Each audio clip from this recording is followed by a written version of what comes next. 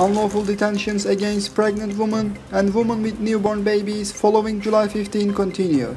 A Turkish woman who is 4 months pregnant and who also has a 1 year old baby named Elif Nisa has been detained in the central province of Niğde.